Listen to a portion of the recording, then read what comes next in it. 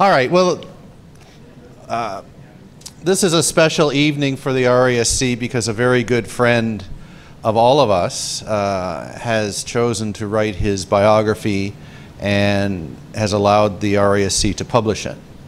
And uh, this is, I think, a first. Uh, and I'd like to I'd like to see us do more of these. Um, uh, publish uh, more books on Canadian history and especially Canadians, uh, astronomers and and uh, people that have affected uh, affected the uh, the hot not only the hobby but the science. Um, so you all know that David Levy is is our special guest tonight. His book, A Night Watchman's Journey, um, is is now for sale. And when did we start talking about this? You got to use your microphone. it was at a GA somewhere. What GA was it? It was the London one. the London. Yeah. GA. Okay. I think we were in line About for two the. or three years ago. Yeah, we were in line for the barbecue or something, and we started talking about so. Um, and I said, "Yeah, we should uh, we should publish that." So I said, uh, "Write it, and uh, you know, if it's any good, we'll." so What um, if it isn't any good? It is. It's very good. And uh, so we thought tonight would be a great opportunity to uh, essentially kick it off. What is, what is the official term for a book? Launch. Oh, a launch. I should know that. It launches, then it comes back and lands. Okay. Um, so that's what we're doing. Um, I think since it's a biography, I don't think I have to do a biography and introduce David. I think you're just going to cover that, so that's good. Um, but I think uh, you should know that David, you know, grew up in Montreal but moved down to Arizona. Uh, I'm told in 1980 uh, because the skies are somewhat better down there. So that's a serious astronomer to actually go to another country, and uh, you know, so. But it obviously, as we'll see, it. uh, Sometimes one wonders why I moved to another country. Well, you seem to have got, it seemed to have worked out for you. Uh, so we thought the format might be kind of nice to have uh, uh, David be uh, interviewed uh, about the book, and then David will do some readings from the book. Uh, so I asked uh, our good friend Ivan Semeniuk from uh, the Globe and Mail to uh, to come and uh, and interview David. He's done this before, and he you know does an awesome job, and. Uh, he probably has some memories of uh, 1994 and Comet Levy and uh, Shoemaker Levy and and uh, and other things. Um, but as as you know, um, he reports it, science in uh, the Globe and Mail, and is a great friend of the RASC, and he's a contributing editor to the Sky News magazine, and uh, he's a host of an astronomy television series called Cosmic Vistas, which were made like decades ago, but they're still playing them every weekend. So that's pretty cool. I hope you get a lot of. Okay, he gets nothing. Yes, well they're they're excellent. So if you haven't seen them, look look for them on the Discovery Channel. Oh, then, all right. So it, yeah, so it, it, Gary is in it as well. so please welcome David Levy and Ivan Semeniuk.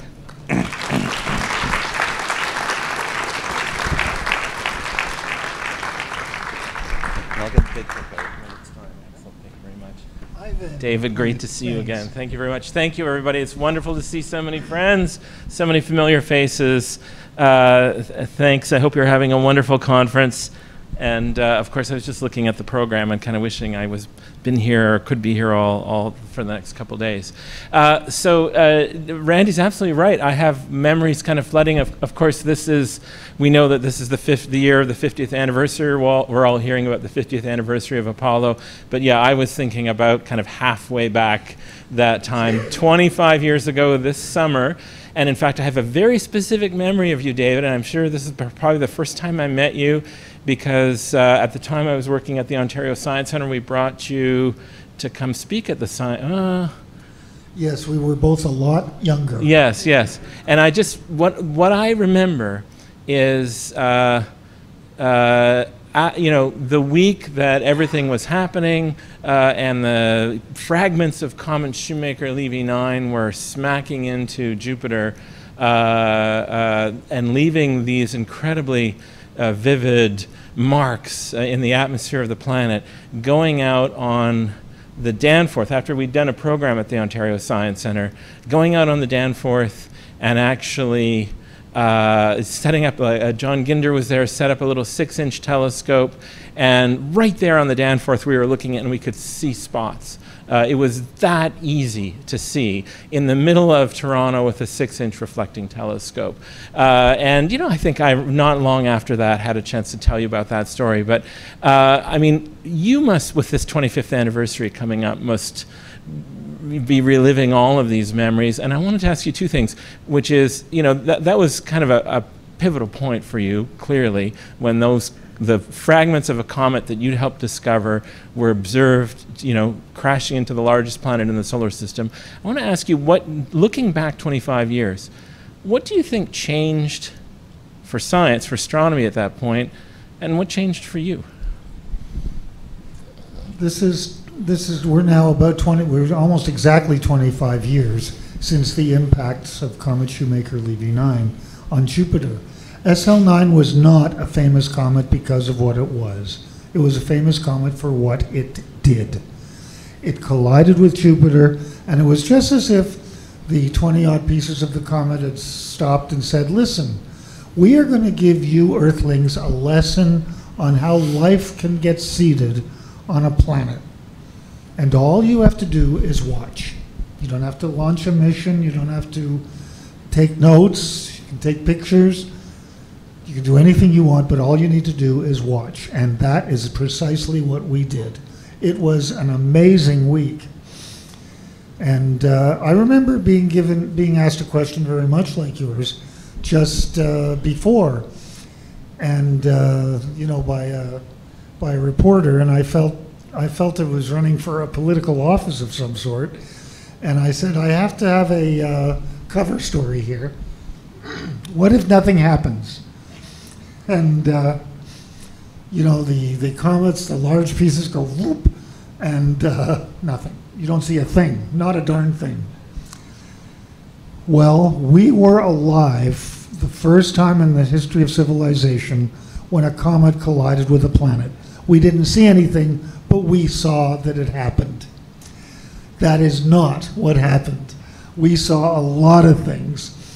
And I remember the first night when we were at uh, NASA headquarters uh, having a conference, press conference, and they were trying to show us how to sit so that our jacket wouldn't be frumpled and all these crazy things. and I wouldn't look like an idiot, and uh, which, I, which which is almost impossible with me anyway, not to look like an idiot. But anyway, uh, while we're doing this, um, somebody came in from the back. One of the scientists came in from the back, Bill Weaver and uh, with a piece of paper. And he walked down and gave the piece of paper to Gene Shoemaker. And Gene just looked at it. And, you know, in the book, I say that people yell, they scream, they swear, but they never, ever blurt. That's not the word you use to describe what somebody is saying. But there's only one word to describe what Gene did at that moment. He had to blurt. and he just stood up in his chair. He said, They saw plumes. and we just, everybody just got up and we, they found us a computer so we could check email. And we were, we were seeing reports from Antarctica, from, from Spain, from all coming in from all over the world. And uh, then we had the press conference that night, and, uh, and um, Heidi Hammel came in with pictures from the Hubble Space Telescope that were absolutely outstanding. The second part of your question is what does it do to me? Shoemaker Levy 9 was like a train, and I love trains, and, uh, but it was like a train with about 20 cars on it. And two of those cars grabbed Gene and Carolyn and me, and they took us for a ride around Jupiter for a couple of years. And it was almost without warning, because here we are observing the sky and just enjoying the night sky and uh, doing our work with the 18 inch Schmidt. And all of a sudden, uh, Carolyn, this is during the day before, before, um, before we're actually observing that night, and it was getting cloudy. And Carolyn was scanning, and suddenly she says, I don't know what I've got, but it looks like a squashed comet. And I thought she was joking. I thought she was telling a joke. Gene got up and took a look, and while Gene was looking, I looked up at Carolyn. I said, You are joking, aren't you? And she said, Uh uh I had to take a look at this. and I went and I looked through the stereo microscope and I saw the long dust trails on either side and the tails coming out and uh, going to the top of toward the top of the film and I absolutely couldn't believe what I was seeing. It was the strangest thing I've ever seen in all the years I was observing. And uh, I also remember uh, telling Gene that I was going to ask Jim Scotti, a friend of mine, to confirm it for us. And uh, we had had a little issue with Jim's boss a few months earlier, and Gene was a little shy about asking Jim to confirm it. And we went back and forth a minute, and Carolyn wasn't saying much, and then I said, Gene, unless you tell me not to, I'm going to call Jim. And Gene said, do it. And I called him, and he said, well, it's a, it's a reflection. I said, are you sure? And he said, no, I'm not sure, but I think it's a reflection. And uh, he said, I'm very busy right now, but if I have the time, I'll take a look. Couple of hours later, after we had measured the positions of the comet, uh, I called Gene back, and he picks up the phone and goes, Whoa. And I said, Jim, is that you? He says, Uh huh. I said, Are you okay, Jim? He said, Yeah. He said, The sound you just heard is me trying to pick my jaw off the floor. I said, Do we have a comet? He says, My God, do you guys have a comet? It's the strangest thing I've ever seen. And he said that it, the way the CCD image read out was from the side, from the left side. And he said, The first thing I saw was what looked like a comet tail, but it wasn't getting any brighter as it got closer to the head. Then came the head and the tail of one of the fragments. Then it kept on reading out, and there was another and another and another. This is when Jim just lost it. And then he got to the end, and then the trail on the other side. And uh, and uh, what it did to me is that uh, it actually kind of gave some meaning to what I was doing, because when I decided I was going to start to search for comets, and the picture on the back cover of the book actually has Pollux and Castor in it. I started searching on December the 17th, 1965, and uh, I chose the area of the sky between Pollux and Castor. Uh, just a little thing I could go through in about five or ten minutes. And considering the weather that night, that's about all the time I had. But that was 52 years ago, and just about three nights ago, I searched again between Pollux and Castor. It un- utterly changed my life. That's the short answer to your very good first question. It's utterly changed your life, and yet, as you say, three nights ago, you're doing the same thing you were doing in 1965. And in fact, in the book, I noted that uh, uh, between the time uh, that you made that first search between Castor and Pollux and the time that you found your first comet, as you write, it took uh, 917 hours and 37 minutes. So I was. my God, you didn't get it right. It was 28 minutes. oh, sorry about that. Uh, but uh, so, how did you know? Uh, how, how where did that figure? come? How do you know that figure to such precision? Well, I keep a track of how often how often I search and the amount of time. And I kept them all in a in a book, which I still have. I didn't bring that particular record book with me, but I believe it's online at the RASC website. You can you can see the whole thing in my entire comet hunting records. But I had the uh, idea that I was going to write record it down where I was searching and uh, when I was searching, the telescope I was using. Not so much that I would get bored and not want to do it anymore, but just enough so that I'd be able to go back and know what I was doing. And I didn't know what I was doing, boys and girls. I, I, uh, I, when I decided to start the search, I thought, well, searching for comets is easy. Any any jerk can do that. Finding one, that's hard. so my initial goal, it's not that funny. My initial goal was, my initial goal was, uh, was was that I was did not actually say that I should find a comet. It's, uh, the initial goal was to search for comets. The second goal was eventually to find a comet or a nova. And the third one was to embark on a study program so I could learn as much as possible about comets. And that actually ended up with my PhD at the Hebrew University, which was a very happy part of this whole thing. Right. And and those three goals that started back in 65? The whole kit and caboodle started on December 17th, 1965. I have made, you're looking at somebody who has made some pretty awful decisions in his life, but I've made two good ones. The first good decision was that I married Wendy. And I think everyone here who knows Wendy, has met Wendy, will agree with that. Because I'd be in the tall grass without her.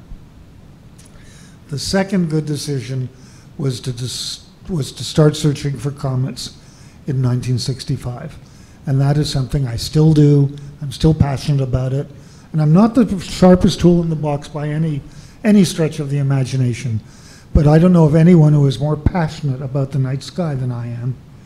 And who's going to continue doing this as long as he can. Not to find a comet, but just to search, just to look out there, to look at the sky. I'd love to have you set the scene for us, especially for people maybe who uh, want to do some catching up with you and imagining what this search is like today. You were saying you were just observing a few nights ago. What's a night in the life like for David Levy these days? Can you paint a picture for us? Yeah, I have the observing sessions tend to start like at, say, right this time of year around 8 o'clock at night, 20 hours. I think Peter would like the way I mentioned the time that's that, that way. And they go on till about 0200 or something like that.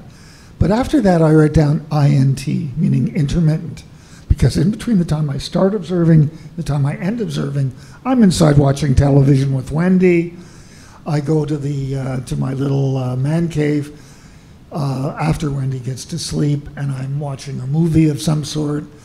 But at some time, at at some point, I will tell Wendy that I'm going out to do some observing, and I'll do an hour of comet searching, and then I have either my cell phone with the timer is on, and uh, it times me up to an hour or so as, long as I want to do it. And uh, once that's done, then I'll uh, go in. And sometimes I'm, I have a remote telescope I have ac- I'm fortunate enough to have access to. Uh, just before I left on a trip before this one, the telescope broke, so I thought I would no longer have access to it. But the friend that I'm borrowing it from did not decide not to have me as a friend, and he did not decide that I wasn't allowed to use a telescope. He said, "Oh, I know what the problem is. It's ACP, that program that we use, is kind of flaky from time to time, and you have to just set it a little more with another program ahead of time, and that'll fix it." And I said, "Oh, and that's what I've been doing." And I, and that's where I do my variable stars. It's really part of my comet search, uh, this particular star. But once I got really busy into comet searching, I had to stop to reduce the amount of variable stars I was doing. How many AAVSO members are in the audience tonight? Oh, there are a few. That's over that section over there. okay, anyway, uh, I got I started observing uh, a lot of variables in past decades, but once I got really going on comets, I had to drop the variable stars a lot. And I decided to drop, especially when I started to get successful at comet hunting, decided to drop to one variable star. And that is TV Corvi, which is I call Clyde Tombaugh star after the discoverer of it. And uh, I use this remote telescope to observe it every night and then to search for comets in the fields around that star. And now it's up in a perfect part of the sky where I can do it. And as soon as I get home Monday or, or Tuesday, I will be doing that again Right. with that. So, you know, you're down there in Arizona, and how, I have to ask you, how close is it, uh, where roughly in Arizona, how close are you to the border? What, uh, what's it like to be working? I mean, you've been there for years now, but uh, what's it like to be doing this work, kind of living almost like this alternate, like out of sync life with other people around you, uh, because you're obviously spending a lot of time, a lot of late hours, uh, and you know, what do the neighbors think, or how, how, how does it how does it work? Can I answer that question with a question? Yes. What actually got you started in astronomy? The real thing, and I keep on giving a story or two, but that's nonsense. The real thing is that I was, as a kid, very shy. It was very hard for me to make friends. I would lose them quickly and I would make them slowly. And uh, it was very, very hard. In fact, the friends of mine in the audience will know that because they never talk to me anymore. But anyway, of course, now I have a lot of good friends, and uh, I've made a lot of good friends, most of whom are amateur astronomers. But uh, I was very, very difficult for me to make friends as a kid. And uh, by getting into astronomy, I didn't need to have friends. I could do it all by myself. And that might be the real reason that I got into astronomy. Course, since then, I found astronomy itself was so fascinating and so wonderful. And of course, getting into astronomy the same week got me into the Royal Astronomical Society of Canada. Incidentally, I'm going to be giving a talk this summer at our retreat called Why I Hate the RASC. I hate it so much that I love it. It's family. It's my family. If the RASC ceased to exist, so would I. I don't think I could live without it. But I hate it so much, I love it. And it's, it's so much a part of my life. There's a lot we can explore there. I learned a lot. I, I have to say, I learned a lot about you reading the book. Uh, all kinds of things. For example, you name your telescopes. You've been Yeah, doing I that do. from the beginning. Uh, why do you do that? Because telescopes are people too. I named my very first one Echo after the satellite that was launched a few weeks before I got that telescope in 1960. It was a bar mitzvah present, an early bar mitzvah present. And then with each additional telescope over the years, I would give it a name. Typically, it would be a name after some kind of a spacecraft related to the time I got the telescope. Um, but uh, then I started naming them after stars. I named one after the one of my favorites is named after the asteroid Minerva, and uh, I think the the first answer was really the one because telescopes are people too. Yeah. They are alive and they have souls. Tell us what happened to Echo. What happened to your first telescope? I still have it. Oh, wow. I still have it. However, I've decided to donate it to the Linda Hall Library of Science, and I'm planning to go there at some time this fall, hopefully to do a book signing. At that point, I will bring Echo to the library, and I'm hoping that they'll find a use for it there. But uh, it's still perfectly usable. In fact, it's more usable now than it was the day I got it. So there, there, there are a lot of episodes from your childhood and and uh, you know young adulthood and so on through the book and your kind of immersion into astronomy. Uh, a lot of interesting details that come about clearly through the fact that you are a diarist as well. You were keeping a journal or keeping a diary for most most of your life.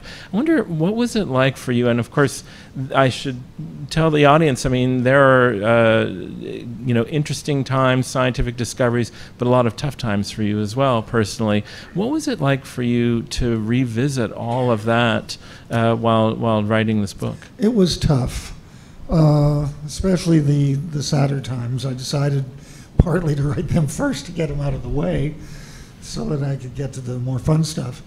But I, I was working on my doctorate when one day Wendy said, David, and that's what she calls me, that's what I call me. She said, David, your next book is going to be your autobiography. And I said, No, I don't want to do that. I don't want to do that. Yes, it is. And you're going to start working on it the day you get your PhD. And I remember in February of 2010, we had written the uh, secretary of the department over at the Hebrew University a letter asking her some detail about printing the thesis and this font and this kind of thing. And she sent an email back. And uh, Wendy read it and she said, David, you better get here. When she says David, then I'd stop what I'm doing and come over. and I said, Is it good news? And she said, I rather think so. And uh, it was from this lady, and she said, Congratulations, you are now a PhD. The Senate has approved your thesis. Just like that. And so I gave Wendy a hug, went over to my laptop, and started my autobiography within about an hour. And I've been working on it for about the last nine years. What was a surprise to me, what might be a surprise to people here, is that you start with a suicide attempt. Yeah. I started, there's a Latin phrase, in medias res. I started in the midst of the worst time of my life. And there are some people who really objected to the starting that way, but that's, that's me. That's who I am and who I was and who I am. I've always had a tendency towards depression. It is not something that I'm terribly proud of, but if I had not told my family what I'd done that day, there'd be no, no book, and there'd be no uh, me being here, and you wouldn't be here uh, interviewing me. You'd probably be interviewing someone far more interesting, but, but you would, uh, it wouldn't be me. And just to clarify, your mother and your brother kind of rescued you by bringing you to the hospital in time. Yeah, mom, mom didn't waste any time. They put me in the car. They got my younger brother to drive me to the hospital. The next day, when I was coming out of it, a couple of doctors walked in. They asked me how I was doing, and I said, uh, I'm doing a little better. But I said, Tell me, how serious was this? And they said, It was damn serious. Another half an hour, there wouldn't have been anything we could have done. It was that close. You had swallowed. Uh, I some- swallowed a whole bottle of uh, Largactil Right. pills. And I don't know how I managed that. And I also do not remember a thing about that. And this was like 40, 45 years ago. Not a thing. Don't remember doing it. I remember having an argument with the same brother who drove me to the hospital. And then I remember waking up, but that's nothing in between. Absolutely nothing. We know that you know there a lot has been written about you know creative people uh, and you know sort of uh, people who make a big mark in different fields uh, uh, of intellectual pursuit also have these battles at times. I'm wondering now, looking back, to what extent uh, that aspect of your personality, which has been a challenging one for you, how much that has also shaped the way you do your science, the way you do observing. How how much is that a, a, part of you know the positive side? It has. It has shaped that in many ways, particularly as I've just mentioned, because I've always had a tendency towards loneliness and depression.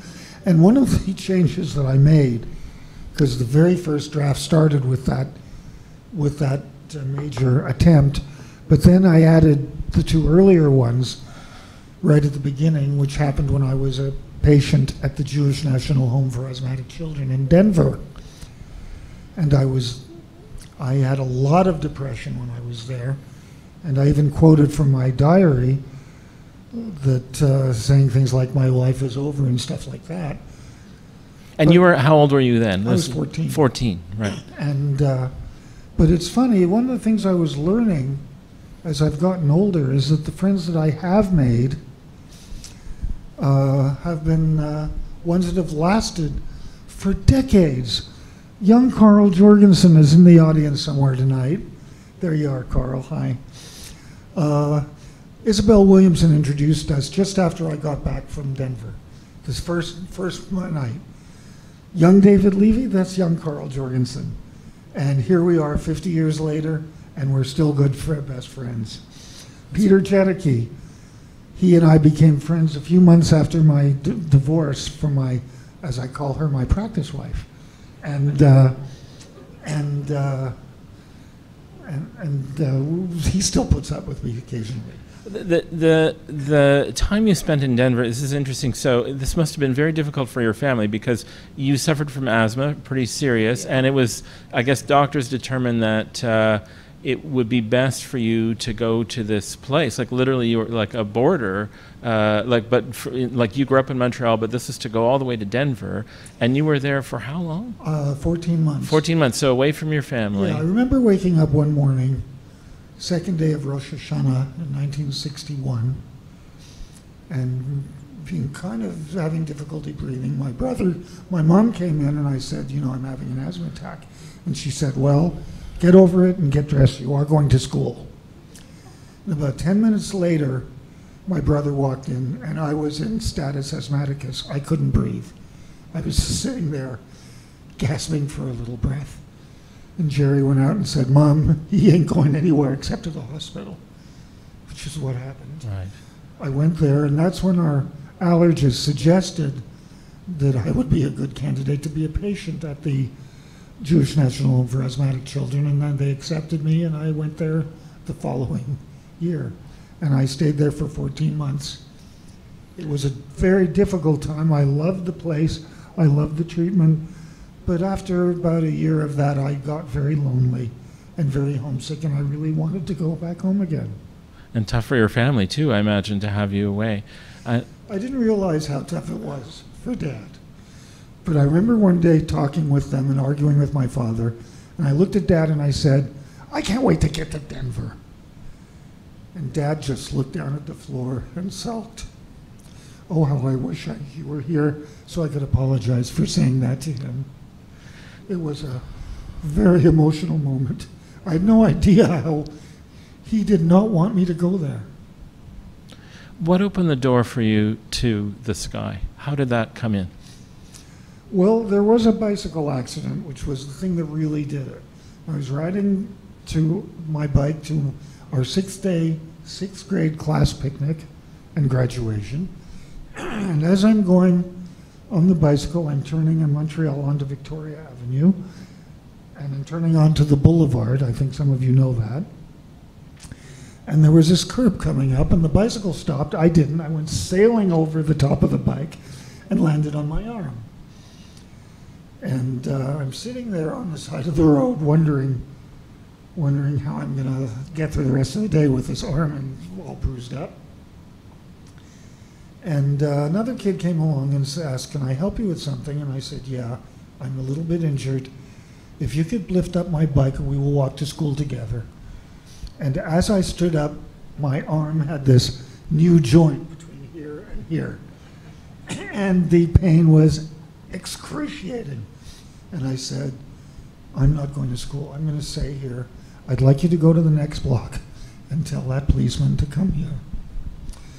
The cop must have flown down the block because he was there within a minute. And he didn't care about the arm, but he noticed bruises on my head. And he asked me what I had for breakfast. Another cop came and he asked me what I had for breakfast. and finally, I was so tired of telling everybody what I had for breakfast. I could have said anything, it would have worked out right. They called my mom and they didn't want her to get excited and they didn't want her to get upset. And they said, you know, it's, it's nothing, you know, it's just a, cou- couple of cuts. And we decided to take him to the children's just to make sure he's okay. And uh, uh, mom said, well, maybe I should just wait at home till you bring him back. You, oh, no, no, no, you go to the hospital. He, I think he'd like to see you, but he's going to be fine. The school principal had no such qualms about telling dad, Mr. Levy, your son David has been seriously injured in a bicycle ac- accident. Get down to the children's as soon as you can. Oh my gosh. My father comes in. He sees me sitting up, and he has this big smile on his face. And it's so such a big smile, I got angry at him. I said, "I'm hurt. What are you smiling for?" And he said, "Well, I'm smiling because you're going to be fine." And that's what I wanted to see. Then Mom comes in, expecting me to be that way, and she, she sees the sling in the cast, and she gets very upset. She was not happy about that. Uh, but but and and how Oh, yeah. does that lead to astronomy? Oh, that led to astronomy thus. A, a cousin of mine gave me a book called Our Sun and the Worlds Around It. I read it from page one to page 42. I read it again, a third time, a fourth time, a hundredth time, and I thought, this is what I want to do. And for all those reasons that I've already explained, the fact that the stars could be my friends, they'll never argue with me, They'll never tell me that I can't do this or that or the other thing. They'll always be fair. And uh, by the middle of that summer, I was hooked. And as I'm looking across at you, there's another good friend that I'm looking at, Randy over there, who is running this whole GA, hopefully, hopefully not into the ground, but hopefully it will be a great success. And judging from what the conversations I've had with many of you today, I think it is so far. But anyway, Randy, you remember that uh, I bumped into you that day at White Sands in New Mexico when we were both watching the shuttle Columbia landing on its third landing during that humongous windstorm. And uh, here I get off the bus to, to watch, and it's Randy Atwood just there. You're from Canada. What are you doing here? Watching the shuttle, just like you are. oh, that was great. And about 30 miles away, a young teacher named Wendy Wallach was also watching the shuttle and not seeing it land because of the terrible windstorm that day. That was years and years before we finally met. Wow. So the book was a starting point, but you were obviously not an armchair astronomer. So how did you know what to do when you went outside, or what was uh, how, how did you what guided you to to become kind of the patient observer you are? First, I'm not all that patient. Second, Sky and Telescope. Who here subscribes to Sky and Telescope? Who here does not subscribe to Sky and Telescope? That's better. Okay. Um, Sky and Telescope started coming. I have my first issue from March the, March 1963, and it's priceless. And uh, years ago, I got, you know, I got a whole bunch of extra copies dating all the way back to the 30s, but when the Sky and the Telescope were separate publications. Some of you might remember there was a letter from a guy in England about a year ago saying he's doing some research in the history of Sky and Telescope, and does anyone have a complete set? I wrote and I said I happen to have a complete set, and he liked that idea, and I packed it up and I sent it to him. And uh, I still have a second complete set of most of it, which I haven't given away yet, but uh, I still use it from time to time, and it's nice to have the real issues there, especially the old ones, uh, where you, you have to be careful, otherwise the ink will come off. But uh, they tell you so much, they explain so much. You read about the Milky Way by Bart Bok, you read about galaxies, an article written by Harlow Shapley. I mean, they had the best in the world writing for them at the time. Um, the the RASC figures into the story as well. It does. Uh, and uh, and kind of beginning to be part of that community, but you know, and this probably won't come as a surprise to uh, seasoned members of the society. There's also at that point not only were you introduced to sort of the astronomical community, but also to astronomical politics. So uh, Astropolitics. yeah, astropolitics. So so you know you're you're uh, probably among the few in this room to have discovered a number of comets, but you're also probably one of the few to have. Uh, you know, uh, graffitied an observatory, uh, uh, and among other other episodes that are uh, in the book. Can I? I, I don't want to go through the whole story, but you definitely got into. Uh, to, there was the observatory crisis chapter, Yeah. uh, and I, I wonder, looking back at that now, uh, and I think this is something. Mem- what what do you take away from that now? You know, sort of in the, in the, hindsight of of maturity, uh, what was going on with you when, when you're kind of having those uh, those tense moments with other members? Well, it, it actually started. I'm going to try to make this part of the story as quick as I can. Um, and uh, if the society wishes to expel me again after I'm done, then. Uh, Oh yeah, you're probably. uh, Has anyone else here been expelled from the Royal Astronomical Society? Oh, uh, how many? Lots of you. Okay, well, you, you can have like a separate little group after. Anyway, so that also happened to you. Isabel Williamson, who was was the foremost observer of her time, thought that I was a young upstart and I was a little bit too hot for for my own good. And I was too ambitious and too hot-tempered for my own good. And it reached a. The first thing happened when I was 12. And I asked her one night if I could bring a telescope to a star night. And she said no. And I thought to myself, no, just no. And I said, well, okay, well, if I come to the Star Night, would I be able to assist one of the telescope operators? Because I do think I could be helpful and I would like to help. And she looked at me and she glared at me and she said, We don't let people join until they're 16 and we have a reason for that. Either come as a guest or don't come. And I'm standing there staring at her, resolving to give up astronomy and uh, swearing under my breath and being really upset. I'm glad I didn't keep that thought very long. But then about five years later, things got a little rough. I was in McGill. I was uh, flunking out, doing very badly. And I came in one Friday night and noticed that the old antique barograph wasn't working. And I did what uh, you should do. You probably needs winding. So I wound it, but it was already wound to the top. So I let it go. And the next day, I told Miss Williamson about it. Anyway, by the end of that evening, she ordered me to leave the building.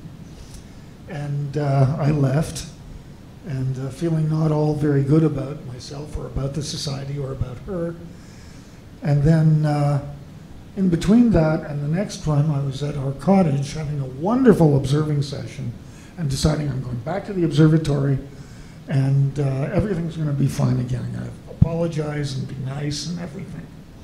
I got back there, and within 10 minutes, they were demanding that I leave again. And uh, this time I didn't. In fact, at one time I did, and I called Carl and I told him what was happening. He said, Pick me up right away and take me over there, which I did. He didn't want to miss this. And uh, Great moments in Canadian astronomy history.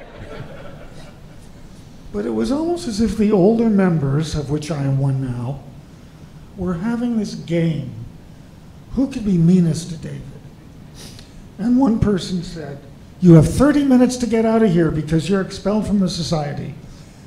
And then one minute later, he said, You have 29 minutes to get out of here. And I'm thinking, Well, someone's watch works. And uh, finally, Miss Williamson grabs one side of the chair I'm, I'm sitting on. Charles Good grabs the other. They pushed me over, and I fell onto the floor. And I stood up. Carl gets his coat on and says, David, we get out of here before they beat you up. and so I left, and he left, and uh, they had a board meeting the following night where one of the older members said, Well, let's just send the letter to the national office and be done with it. And it would have been done with it. But the president at the time, Dr. Jean Pierre Jean, said that no, we have to do this properly. This is an illegal meeting. We're going to have a proper meeting and we're going to discuss it like human beings. And uh, we're going to decide what to do, but we're not doing it tonight. They had that meeting about a week later. There was really no other sense to have me expelled from the society. but at the end of that, Ms. Williamson spoke to one of the younger members that she really admired, Jim Lowe, who has sadly passed away. And she said, I need an honest answer from you. Did I really blow it with David? And Jim looked at her and said, Miss Williamson, David is hot tempered. He, he's has a big mouth. He talks without thinking. And he really needs to be put in his place. And a postcard. Yeah, yeah, this is great. And then he said, but he's also the most enthusiastic member we got. And you don't want to be throwing him out of the society. And so she didn't say anything at the time. And about years later, I had uh, gotten my undergraduate degree at Acadia. I was then now at Queen's getting my master's degree. And I just got this idea, well, I'm going to write her. Just to say, how you doing? She'll never answer me. She'll burn the letter. And uh, so I did. I wrote her. And would you believe about a week later I got a response? and considering this is the Canadian Postal Service, she must have answered it the same minute she got it. And uh, she told me what she was up to. And she said at the end of the letter, David, the next time you come to Montreal, I should like you to visit me. It turned out I was going to be in Montreal in about a week after that. So I wrote her back. We set up a time. We had a very nice visit. At the end, she said, I want you to visit me every time you come to Montreal. Please promise me that. And I said, I will. And we never were friends when I was young, but boy, we became good friends after that. And when Miss Williamson passed away in the year 2000, Uh, I happened to be in Montreal at the time, so I made it to the funeral service. And then, as the uh, service was ending, the family came up to me and they said, There are a number of people from the Montreal Center here. And I said, Yeah, there are a few.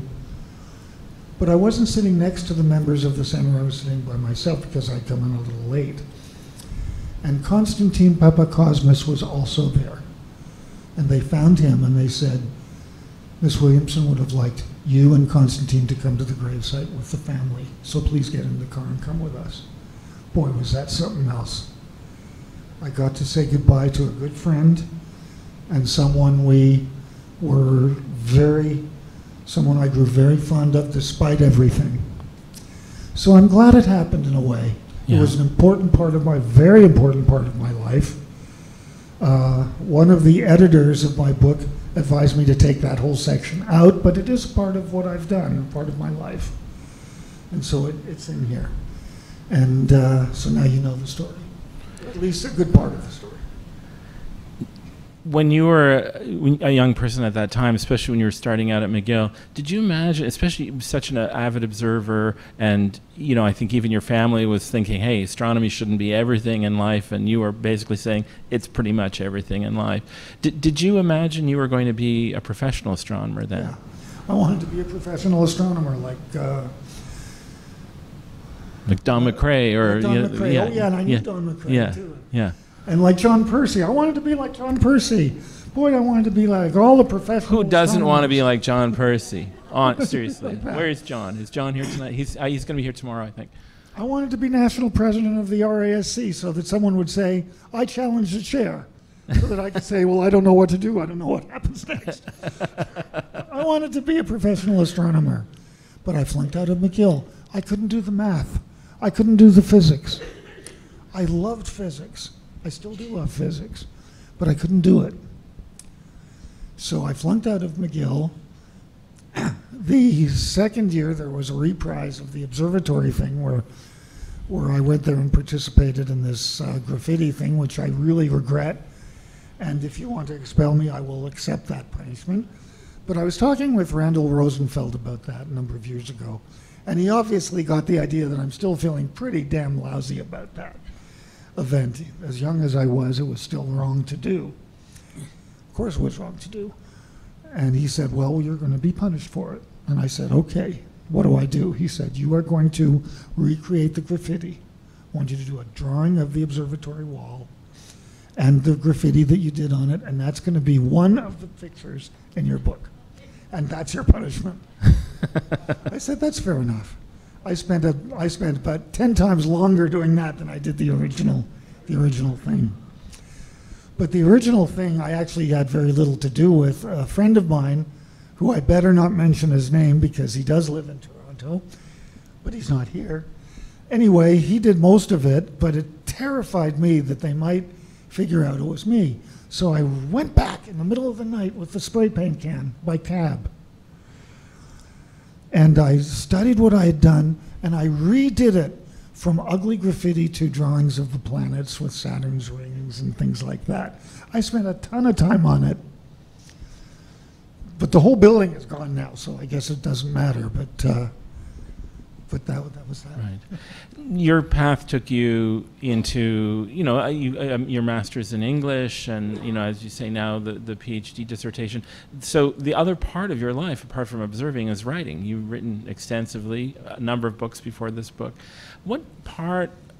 Where does writing come in in terms of how the role it plays in your creative life, and uh, you know, what what what dimension does that add to you to, to what you do? In 1959, I was a camper at a day camp in Montreal called the Lord Reading Yacht Club. There was a counselor I had named Derek, and he and I would sit down and talk. It wasn't that heavy a schedule, so we had a lot of time to do that. And I told him I wanted to talk about something I called authorism.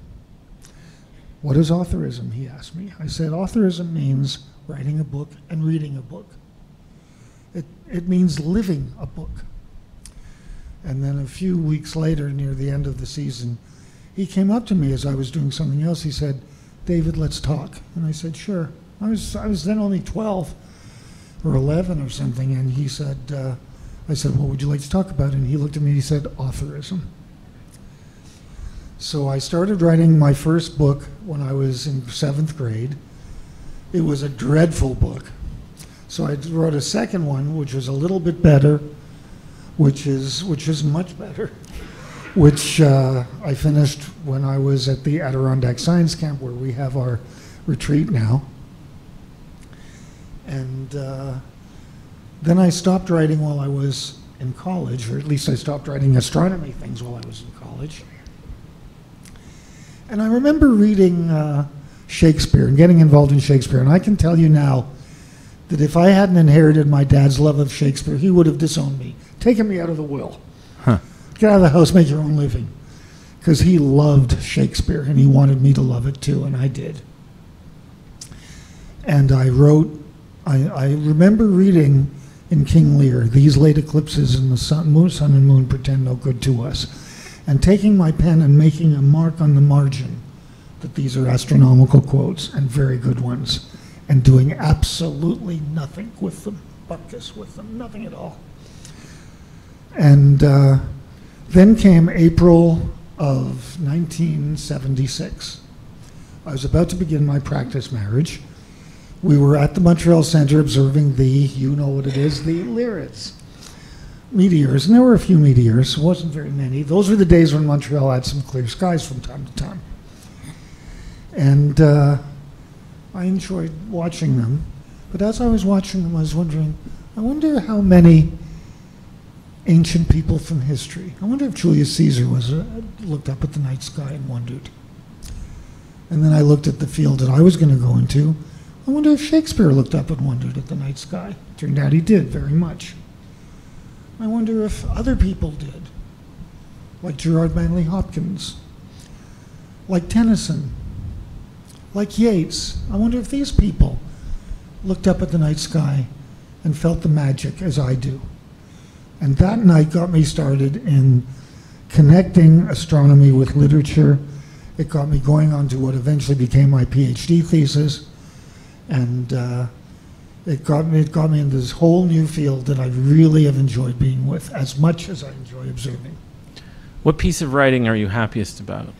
What gave you the most joy to write? After I finished my thesis, I tried to do a book called The Starlight Night, and it was just astronomical references in the writings of Shakespeare, Tennyson, and Gerard Manley Hopkins. That's my favorite book. Between you and me, but don't tell anybody.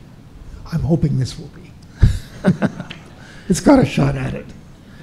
But David, do you think it's inevitable that you would have become a watcher of the sky, the night watchman, or was it was it kind of a random path? I think it was inevitable. I don't think there's, I don't think I would, I couldn't live if, if you mean if, uh, if President Trump passed an executive order saying you're not allowed to observe the sky. Well, I mean, I you, couldn't live. I couldn't. I Yeah. couldn't be around. I I mean, do you, well, I guess what I mean is, uh, do you think that, you know, if you had been born at a different time or other interests had crossed your path, that you might have been led in a different direction? Or is there something in the sky that you think that is just, you, you would have found you no matter what? I think it would have found me no matter what because one of the things that I love about the sky, and I think most of you love about the sky, is that it is timeless. Whether we're living now with CCDs, and I know if Shakespeare is sitting in the back, if he's come back after 400 years, he would want to learn about P, about CCDs. He would say, "Get off this bit about your life. Let's talk about CCDs." I don't want to write plays. I want to use a CCD and take pictures of comets. But uh, no matter what time I would have been around, there would have been a sky to see. And even though I have a lot of telescopes, and the RASC is going to be getting one eventually, um, my favorite sessions are when I just go outside and sit on a chair and I look out for meteors, shooting stars. That's my first night observing session. Session number one was seeing a meteor on July the 4th, 1956. It was just there, and then it wasn't. And you don't need a telescope. In fact, there's a law you can't use a telescope to see meteors, but that's not true. I've seen plenty of meteors through my telescopes. But you don't need a telescope to see meteors. It's just fun to do and fun to watch. You don't even need to count them, but it's fun. So, in a moment, we're going to ask you to do some readings from the book, and I think we're going to also ask for questions. I'm sure there'll be lots of questions that people want to ask more about different details uh, of the work you've done. Just before we go to the readings, uh, I'm sure other people are thinking about this too as time goes on. If you just think about the difference in what we know about comets when you started in 65 to what we know now, uh, you know, having seen probes landing on comets, other probes smashing into comets, seeing close ups of comet nuclei, and also all of the electronic searching that goes on around the world 24 7 detecting uh, you know near earth objects and comets and asteroids and so on. Is there still room for the the david levy's of the world the individual human observers? You bet your boots there is. There's plenty of room for those of us that just like to look up and to enjoy the night sky and to be one with it. That's what the sky is meant for. It offers us a difference. It offers us something an ex, ex, something different from the nightly news where everything's a panic and happens and the next day is forgotten. It offers permanence. It offers something that is beautiful and that is priceless and that is worth getting expelled from the RASC.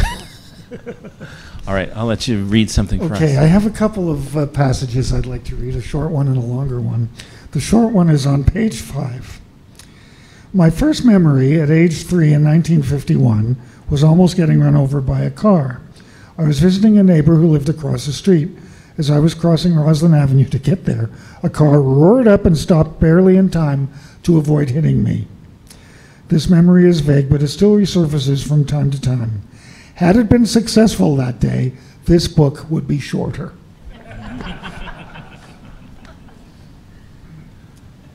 and uh, the second one is going to be the ending. And since, since this is a nonfiction book, I'm really not giving anything away in the plot by reading the ending of the book.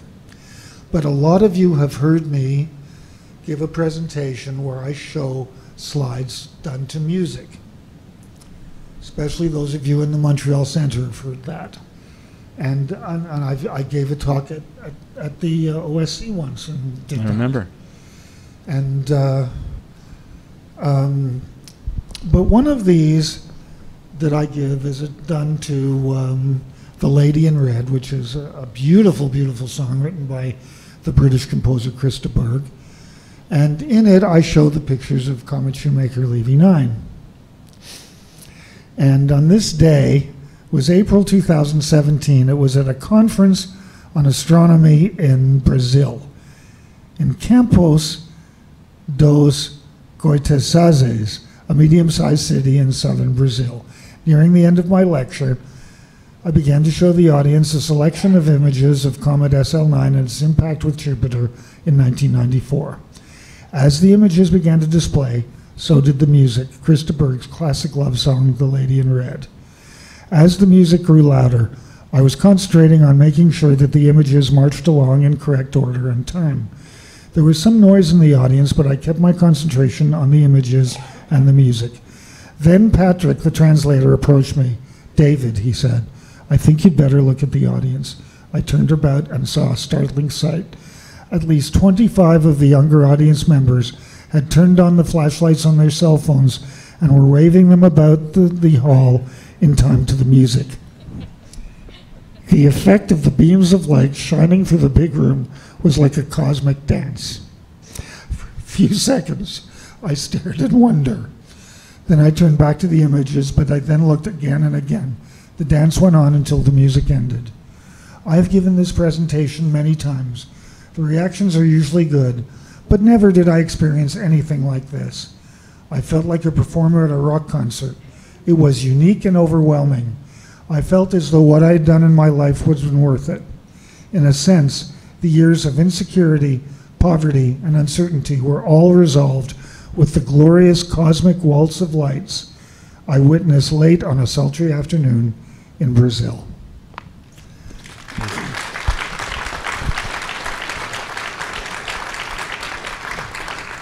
Thank you very much. David Levy, family member, RSC member, and sort of extended family member and uh, life member of the RSC. How about some questions? I do have some music first. Oh, you have some music? Oh, of course. Right. Uh, David has some music, music? and then we'll go to questions. So get your questions ready. Yeah, the music has to do with Dad again, because uh, Dad has been gone since 1985, and one of these days I'll get over it, but uh, it's not quite yet. One day in the summer of 1960, Dad and I, Dad and family and I were having dinner, and he started to tell a story about a man named Joshua Cole, a young boy, whose father was really mean. And he looks at me and he says, "I'm mean, but not as mean as this guy was." And I, I, he said this father would try to drown his son in the bathtub. He would be really, really mean to the point that he eventually just got rid of him and sent him away to a boarding school. At the boarding school, his son Joshua met a teacher who was an amateur astronomer, got him interested in astronomy. After he left the school, he got a telescope, and he'd earn a living by standing at railway depots, and as trains would stop and people would get off, he'd charge them a penny to look through the telescope. He made enough money doing this, he was able to get himself a big telescope and an observatory on what he called Spyglass Mountain. One night, as he's looking through his telescope, he discovers incontrovertible evidence of life on Mars. At the very moment this Dickensian type novel turns into a real horror story when someone breaks into the building with a gun and tries to kill him, to either steal the telescope or just kill him. One of the shots gets him and he falls down. He's lying in bed, recovering and uh, trying to get his health back when suddenly a friend comes in with a newspaper. Look, something's broken. And in the newspaper is this big headline American amateur astronomer cites evidence of life on Mars. Young amateur astronomers sighting confirmed by the professionals. Is Mars a living planet? And then Daddy says, I remember the last words of this book, and I'm going to tell him now. First to report discovery, Cole of Spyglass Mountain, famous in a night. Well, as Dad got older, every now and then he'd ask me if I had, could get him a copy of Cole of Spyglass Mountain, and I never really could. And, uh, well, I guess maybe we're not going to show the music. Let's see here. No, I guess we're not. I guess we're not. I guess, no, I, that was like a toss up, but it was a thing. And, uh, Maybe we can, maybe we can bring in. A, so is it an audio uh, thing? no, don't, don't worry about it, Randy. Randy, it's fine. Yeah, it's fine. It just went off, that's all. Did it? I think it's trying to be on. There we go. There we go. Well, let's see. Okay. Anyway, well, not yet. No, no, no, no, yeah, not yet. Sorry. it's not the council meeting. anyway, uh, in 1995, I gave a lecture to a big group, and they had hired a pianist, a blind pianist named Ken Miedema, to write a song based on Cole of Spyglass Mountain because the night that I first showed my mom and my dad Jupiter was in September of 1960, and there was a theory at the time, not at that time, but after SL9, that 1960 might have been the year that Comet Shoemaker Levy 9, years from being discovered, turned out to be um, the year that it got captured by Jupiter's gravity and started to orbit Jupiter instead of the Sun. And uh, I describe this like the comet as a sailing ship moving through the sky, moving around Jupiter, and finally coming home. Not so much that it collided with Jupiter, but that it came home and docked at Jupiter. Slightly different way of describing the events. And I'd like, if I can get this to work, I would like to see if I can play this for you now.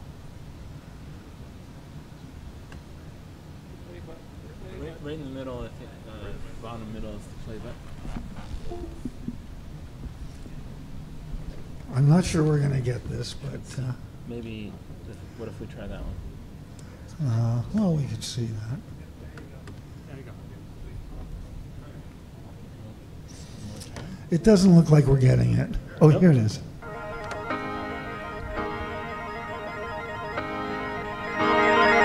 Oh, Daddy, come look at the evening sky, the edge of tomorrow's four billion years old. It's a mighty ship that goes sailing on and on. Daddy, come look at the evening sky for the wonders yet to come. And we'll follow the course of the great sailing ship till the ship comes sailing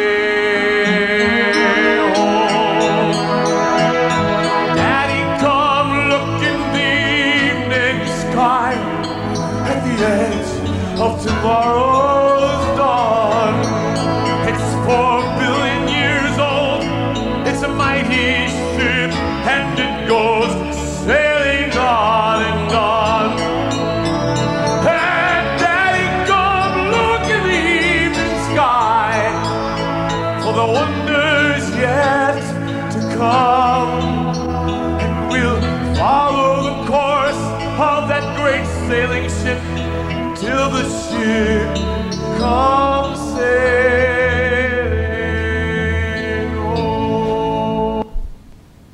And that's it. Now we can have some questions. Excellent.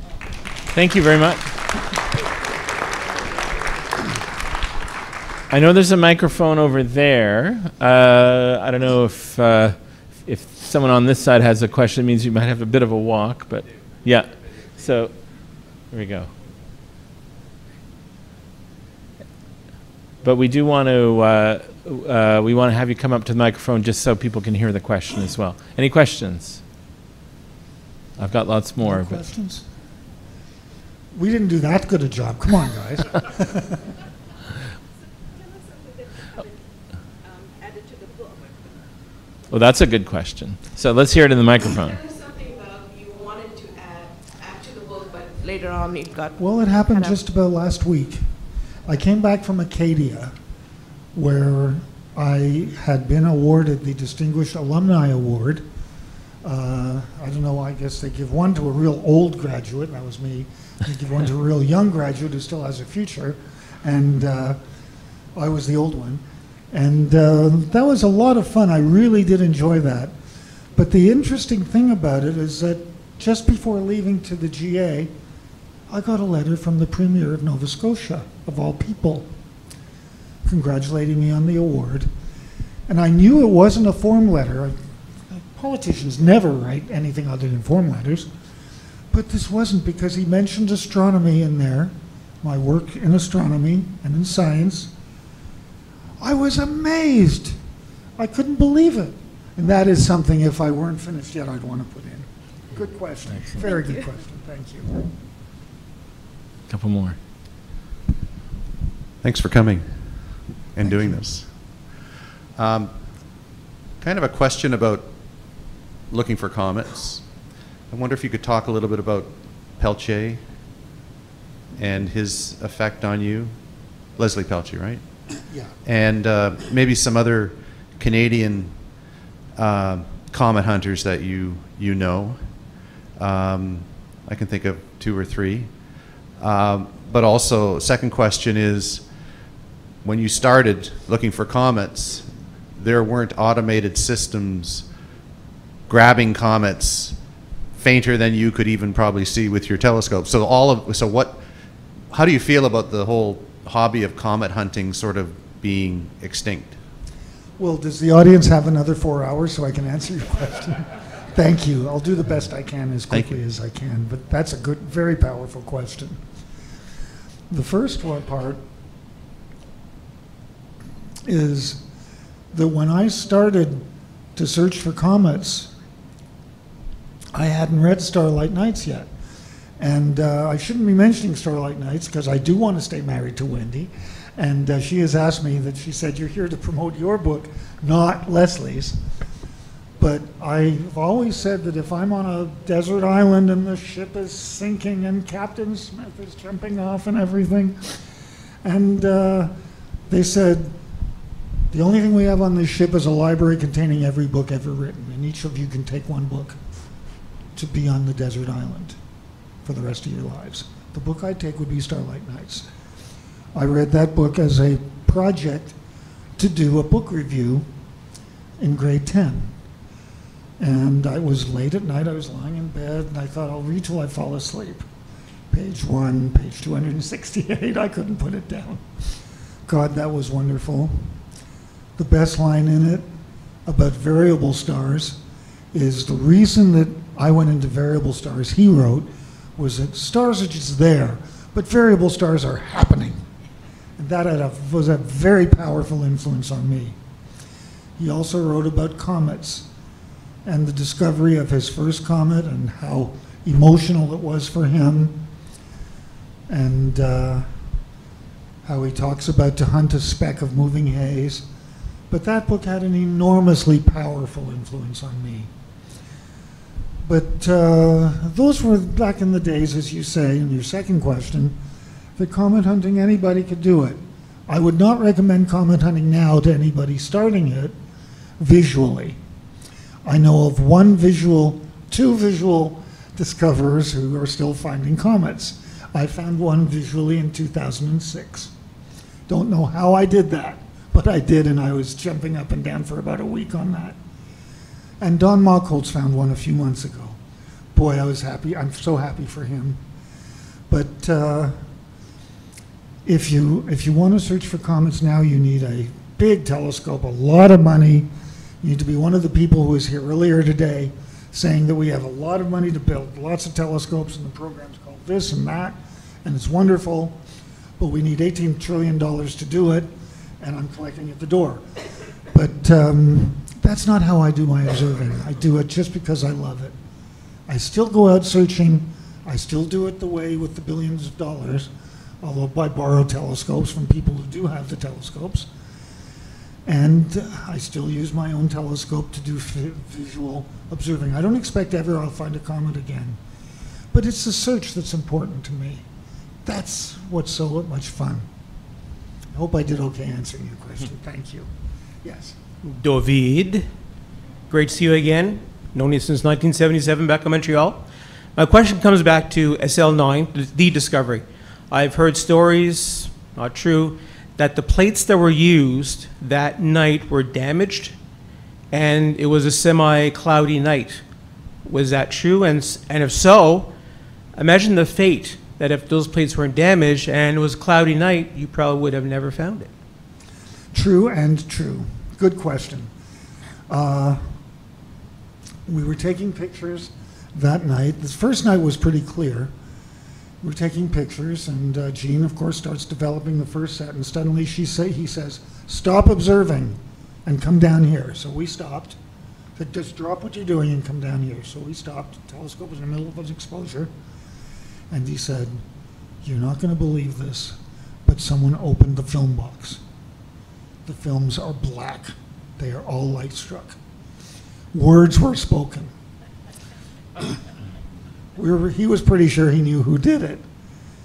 And uh, we were standing there around wondering, you know, we were we had started to hypersensitize a new batch, but that was still six hours away, and it was a clear night, and the forecast was horrible for that the rest of that observing run.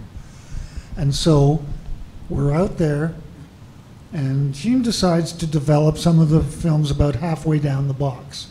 And they came out pretty well. The edges were, were light struck, but the middles were okay. So I said, I think we can continue using these bad films.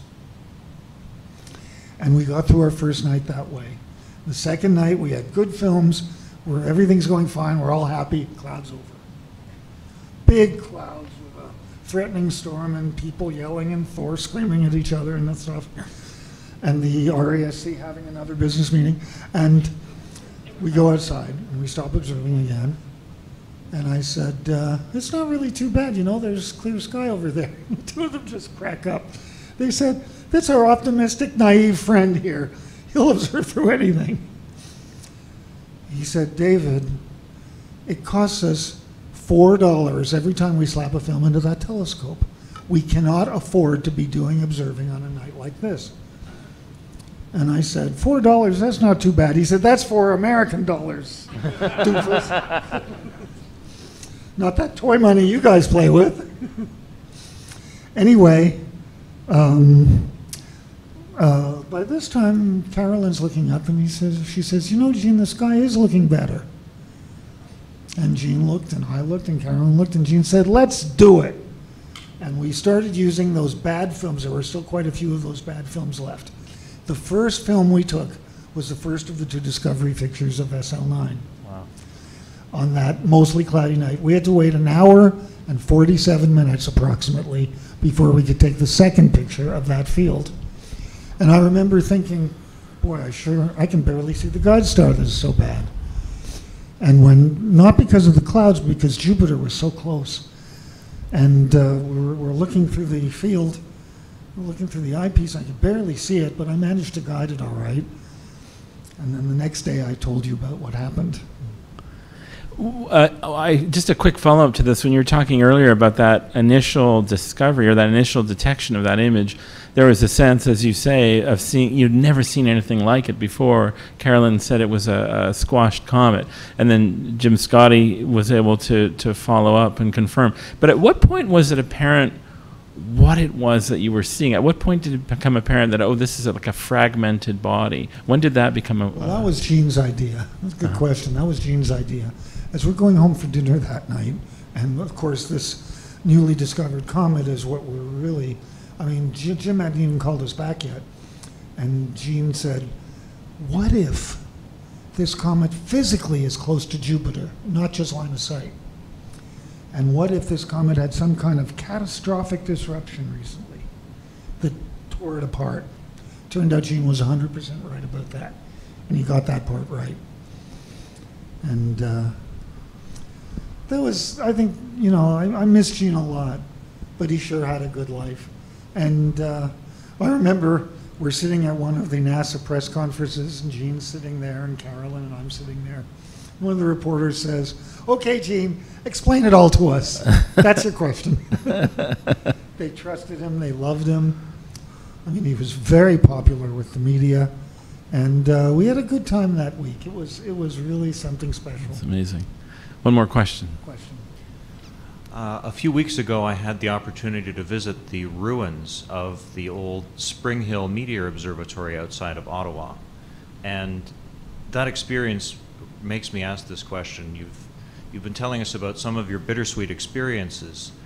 Could you please tell us a story about, a bittersweet story about a derelict observatory or a derelict telescope that you've been associated with? Please, thanks. Good question, thank you. In fact, the story I'd like to tell you to answer your question has to do with the Spring Hill Meteor Observatory. We were there one night in uh, 1977, 70, and uh, the Ottawa Center people are all in these coffins, which were designed to keep meteor observers warm on cold nights. This was in August, and it was not a cold night, and they're complaining about the heat and wishing they put air conditioners in these things, air conditioners or something. And uh, they went all right, but one of the people that night who was observing was Ralph Meier. And he he was he would later become famous himself as a comet discoverer. He was the first person to discover a comet from Canadian soil. And he won the Chant Medal of the RASC for that. And I was so proud of him. But I didn't know Rolf that well. And I thought, you know, he's going to go along with his life and I'm going to go along with my life, but uh, I'm never going to get to know Rolf.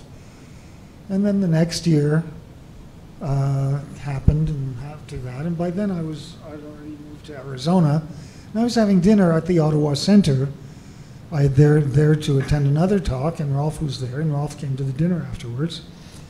And Peter Jedicke from London was there with with Diane, and uh, Peter starts asking about the Christmas trip that he and Diane are planning to visit me in Tucson. We're making plans and things like that. And Rolf is listening with, with one ear. And suddenly he turns and says, David, I said, yeah. And then that way he had, he said, can I come to visit you too at Christmas? I couldn't believe it. I said, Of course, I'd love it if you'd come. And he came. Hmm. And then we became, from that moment on, we were good friends. And so that was, that was a good story that I had about the Spring Hill Meteor Observatory. Excellent. Good question. One more question. Hi, David. Um, I have a question for you from my daughter. Um, as you know, since you've written so many books, we even have a dedicated David Levy shelf in the Montreal Library. And she was wondering how you know when you have an idea that needs to be put down on paper. Where does that connection happen? I really, that's a very profound question that she asked. Please let her know that. But I really can't answer it. It just happens. I get an idea that I might like to do something. I have a project, and uh, the, the, the, idea that came to this one was finding a publisher. Because, you know, once I got started, I wrote a proposal for it and sent it to multiple publishers all over the United States and Canada. And they all said, it's a nice idea, but we're not interested. We're not interested. We're not. It's like a echo. And uh, that was that. And Wendy said, don't worry about it. Write the book. Do, what, do what's in your heart. Eventually, you'll be alive or dead. There will be a publisher. We're not worried about that. I said, well, I love you, but I don't agree. And I think we need to find a publisher. But I did what she said, and I kept on working on it. And then suddenly, I get this call from Randall Rosenfeld. And Randall says, Do you have a publisher for your book? And I said, uh, We're looking around, but not yet. Would you like the RASC to publish your book? Just, just a thought, just a thought to consider. Boy, did I accept that fast. I couldn't wait to accept that. I, was, I don't think he was finished the question yet before I said, yes, yes, I want, I'd love it if the RASC would do that. This organization that I love, that has meant so much to me, I couldn't imagine a better publisher. And uh, over the years, I got to meet some wonderful people. Our current national president, for example, who was the chair of the publications committee, Charles Ennis, who has written a book. And he called one day. He said, When I really want to talk to someone, I have to call. I can't do email. And he had a very interesting idea. He said, he said, it's a nice book, but I don't like the way it begins, so take out the whole part about the suicide and about the sadness and just the astronomy. Shorten it by about 50%. And Wendy's kind of listening. She's shaking her head and stomping around the room. And I said, These are good ideas, but this is my life. I didn't really know how to respond. This is my life. This is the story of me. This is who I am. And Charles said, I get it.